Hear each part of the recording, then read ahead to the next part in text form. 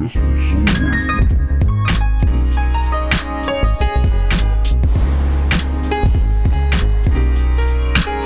and a half years ago, we took over the building and we renovated it to turn it into the largest private hostel in Israel with 75 rooms, 260 beds, and the best atmosphere you can find in a hostel in Israel.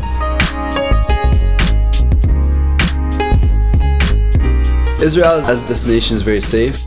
People are very friendly. A lot of them speak uh, English and other foreign languages, and uh, the variety here is incredible.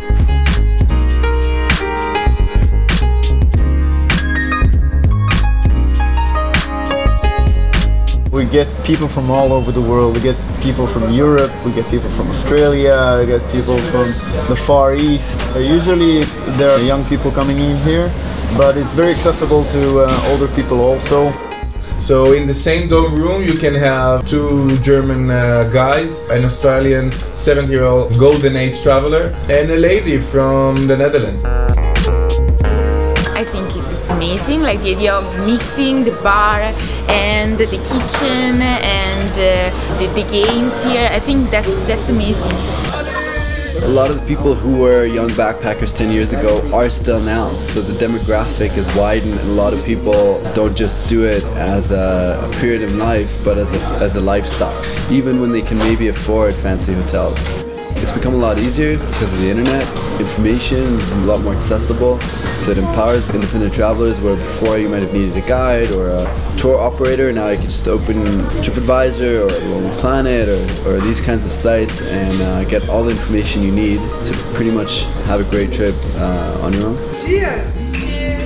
You meet so many people. You're gonna crash it. That's a good thing. It's cheap. You can just like read a book, get something to eat, talk to other travelers, uh, use the kitchen. You don't feel kind of like freaked out that you're by yourself in a, an unknown country. When we opened originally, the tram hadn't yet started to operate. Now it stops right outside our door. We're right across the street from the market, which we take advantage of.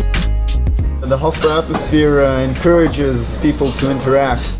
They interact at the bar, the, they interact at, at the different activities we have here during the evening. They all find it very hospitable and lots of fun. Coming to Israel has been one of the best experiences I've ever had.